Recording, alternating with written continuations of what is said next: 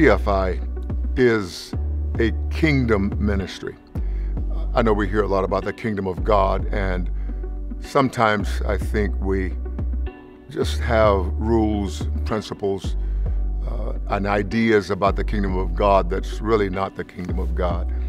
The kingdom of God is about a king, Jesus Christ, and his domain, his dominion. And TFI is about that. We are preaching the kingdom of God. You can never preach the kingdom of God without emphasis on the king. One day I was listening to Alan as he was teaching, Alan Vincent, who is uh, a great mentor and one of the men who I call spiritual father.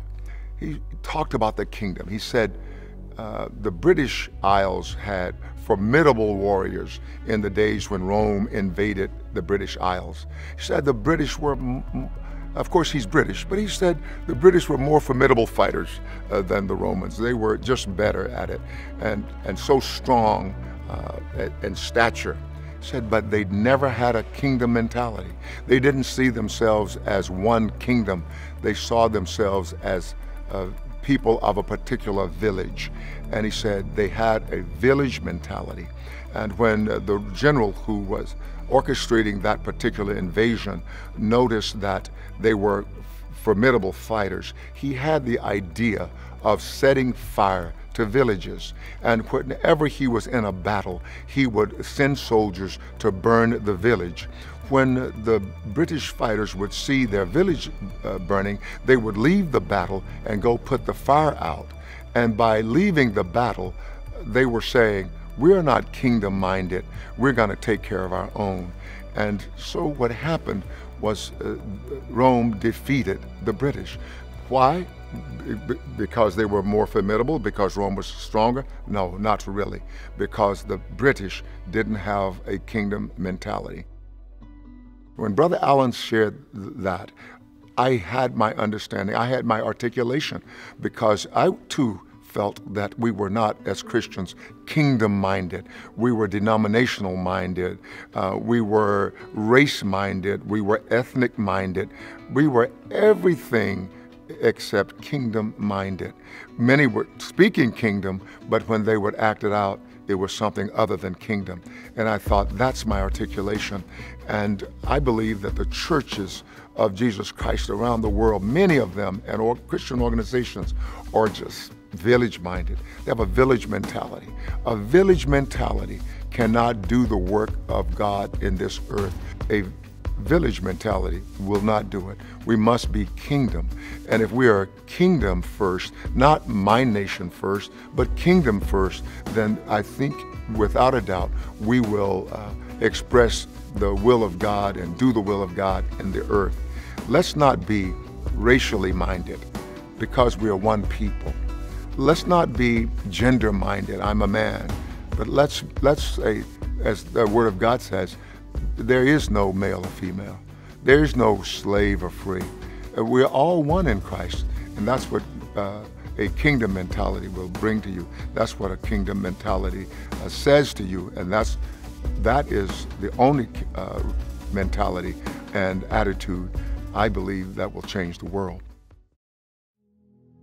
TFI's main goal is Christ-centeredness. From the time I was a little boy, I would listen to messages, sermons, I would listen to people talk, and they often talked about God, but so often people don't really understand God in the sense that uh, the idea of God is so great. Maybe they have an idea of God that is strange to ours. Perhaps they worship false deities and they think we're talking about their God. So as a child even, I think I started to concentrate or think on Jesus Christ. And I know as a young adult, Christ was everything for me. He had saved me. He had changed my life so uh, dramatically. I wanted to be Christ-centered. And when I read the scriptures, I would always see Jesus and, and who he is and what he had done for us. And initially, when I would uh, preach the gospel, I would always tell people who they were in Jesus Christ, who you are in Christ. That was almost every message I preached, who you are in Christ. And, and that was found in Ephesians. I had a a tremendous love for Ephesians.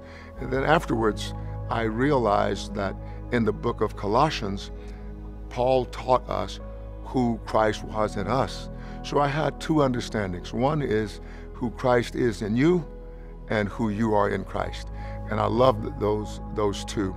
And what I would like to do and continue to do is to teach people about Jesus Christ. Really teach Christ, not so much about him, but teach Christ. Uh, all aspects of his beauty and his glory. The scripture says that everything is made was made through him. Everything that is made was made through him. And without him, nothing was made that was made. In him is, was light, and that light was the light of men. The light shined in the darkness, and the darkness did not comprehend or overcome it. So Jesus Christ, we find, is so essential. And I think he is not understood as he should be understood. A number of years ago, my wife was preaching at a women's conference in uh, the nation of Kenya. And as she was preparing further, she was already prepared. She studies just so much. And I always tell her that when I, she finishes with her message materials, she will say something like, uh, "Oh, this is my message." I would say, "Oh, I could preach on that for three months." But uh, so she, but she was in in Kenya, and as she was continuing her study, she just felt like it wasn't enough. It wasn't right. She called me. It was rare that she would call, and in this phone call, she said, "I need you to pray for me." I'm having difficulty. I'm not satisfied with my message. It's just not coming together as I wanted to. Pray for me. And I said, okay, I will pray for you, and you're going to do just fine. And I said, no. No matter where you start in the Bible, and I said that because she loved the Old Testament characters. And I said, no matter where you start in the Bible, you get to Jesus as fast as you can. And that's what TFI is about getting people to come to Jesus as quickly as possible. If you're teaching, get to Jesus as quickly as possible. In your life, in your understanding, your comprehension of God and what He desires, get to Jesus as fast as you can. And that's the emphasis of TFI. I would love for all of brothers and sisters to understand how important Jesus is. The Bible says, with, without him, nothing was made that was made. And so that's how important he is. Paul teaches us that, that it is Jesus Christ uh, who holds all things together, or in another version, in him all things consist. But they're all held together. That means this entire universe is held together by Jesus, through Jesus. Isaiah the prophet says, and the government shall be upon his shoulder. So it is an amazing reality that Jesus Christ is God's everything for everybody. Sometimes uh, I've been told, um, I, don't know if I could preach uh, uh, Jesus uh, as, as much as you do or as often as you do, I would run out of things to say. I said, Oh, impossible. It is impossible because everything comes through Him, everything is about Him.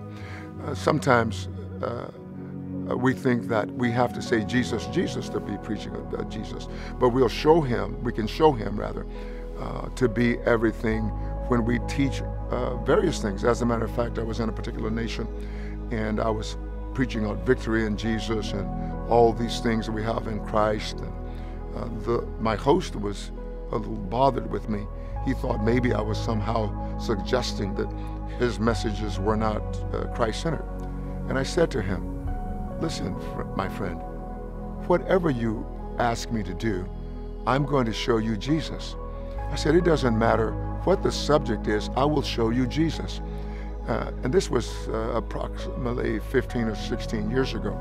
And I said to him, If you brought me to your place to teach your youth, you wanted to, have, to do a youth conference, I would show you how Jesus is the perfect template for youth. I would show you how Jesus was the perfect youth. At 12 years old, knowing that he is the Son of God and that God is his personal Father, uh, I said, went back home to Nazareth after Mary and Joseph found him uh, after three days of searching. Went, he went back home to Nazareth and submitted to imperfect people. I said, if you were uh, to ask me to teach on finances, I would show you how Jesus is the most frugal person and yet the most liberal person who multiplies uh, two fish and five loaves, feeds a huge multitude, but didn't waste a thing. He said, it doesn't matter what subject, Jesus Christ is, is the real subject behind the subject. And so that's what I would like for you to know is that yes, you can teach uh, on how to be a husband or how to be a wife using Jesus as your example because Jesus is perfect in submission in the Godhead, but he is per perfect in authority in our lives, in the kingdom, in the church. So it is not like you have uh, nothing to preach about because all of the Jesus is the Word of God. So all that you read in the Scriptures is through Him. He is the Word of God. Jesus Christ is the Word of God in a body, in a human body. He is He is the fullness of God. No one is the fullness of God but Jesus Christ. It pleased the Father that all of His fullness would dwell in the Son. It is so amazing. So if you understand Jesus, if you lay hold of Jesus Christ, he will change your life. And the apprehending of Jesus Christ will be one of the best things that ever happened to you in, the, in the, your whole life. It will be, I say, one of the best things because the very person of Jesus Christ and then the apprehending of him uh, are, are almost one and the same. And so just understand uh, that TFI is here to serve. TFI is here to broaden your understanding of Christ. We're here to support you in your Christ centeredness and in your journey with God through Jesus Christ.